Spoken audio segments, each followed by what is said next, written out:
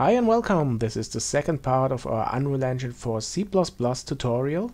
In this one I will extend the class that we created in the first tutorial to a rotating mesh. Here you can see the C++ class, I renamed it to Pickup Actor.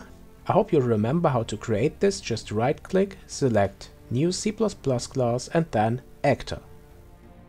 Okay, now let's proceed double click this to open Visual Studio and here's our class a pickup actor. And let's focus on creating a root component, the mesh and the rotation of this mesh. In order to let this actor rotate, we need an F rotator. This is a helper class to apply rotations and we call this rotation rate. I want to be able to edit this from the outside from my editor so I define a property edit anywhere and perhaps who knows I want to be able to edit this in blueprints so I use blueprint read write and I will also define a category and this category will be visible in the editor and I will call this pickup. The next component and property we need is a scene component that will act as a root component. This is the parent to all the other components and I will also need this to change the pivot point when I'm rotating this you will understand this later on. Alright, the class of the scene component is uScene component. You need a pointer for this and I will set the name to scene component. Again the same definition for the property because I want to change this and edit this anywhere. And now I need a mesh component and the class's uStaticMeshComponent. Also a pointer and I call this item mesh. Same property. And we're done with the definitions in the header file. Okay, change to the implementation file now to create these components.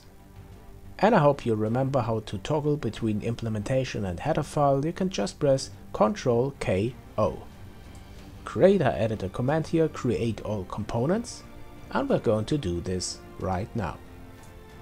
First component is the scene component.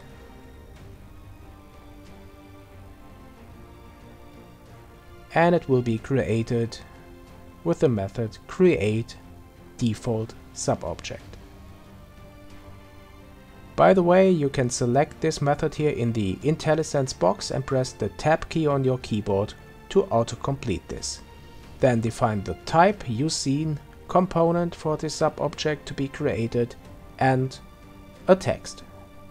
This can be any text you like. I'm using scene component. Okay, the next step is to define the root component and we set the root component to this scene component. This is the parent of all other components. Now let's create the item mesh. We already did this in the previous tutorial. Again, use create default sub object and the type is u static mesh component.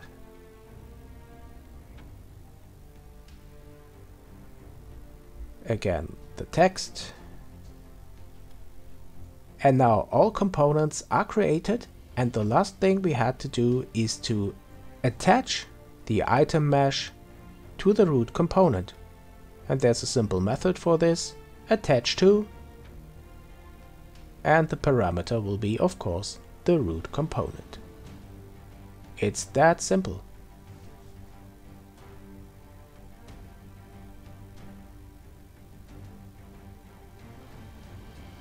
Great, now let's initialize the rotation rate and the rotation axis. and I will rotate it around the yaw. The yaw is the vertical axis, so I set here 180 for the yaw and 0 for all the other axes. And now let's go to the tick method because in this method we want to rotate the object locally and there's a simple method which is called add actor local rotation.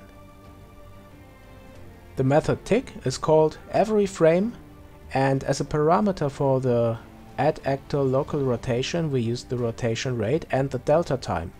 And the delta time is just the time that elapsed between these ticks, okay? So let's see, perhaps I will introduce a speed property just to have a parameter to modify the speed of this rotation. We will see. So let's compile this.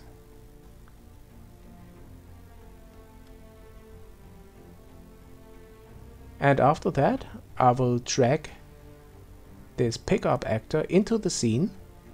And here we can see the scene component and the child, the item mesh. And like in the previous tutorial, I will assign a mesh to this. Here we go. And now let's come to this pivot point that I mentioned before. I drag the scene component just a little bit upwards and then the mesh downwards. And now you see when I select my scene component that the pivot point has changed.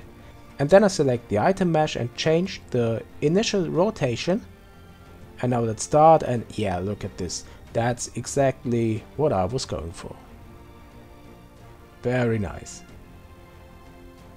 How about jumping on this? yeah, this works. oh damn. Okay, just kidding. Okay, you know what, let me introduce a speed parameter, a speed property. Let's switch to Visual Studio again, to the header file, and define a float property called speed.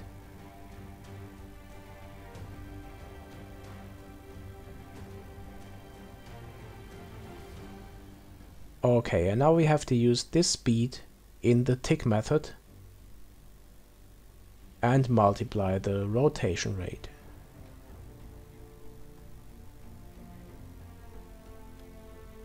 Now we need a default value and I will set this in the constructor to 1.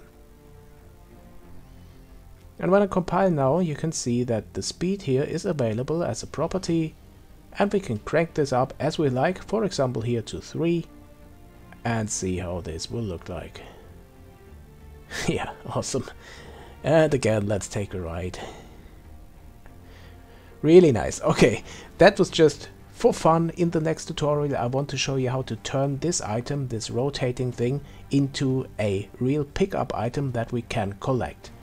If you liked the video, let me know and subscribe to my channel to be notified of new tutorials, they will come definitely. Thanks a lot for watching and come back soon here to my channel to Jayanam.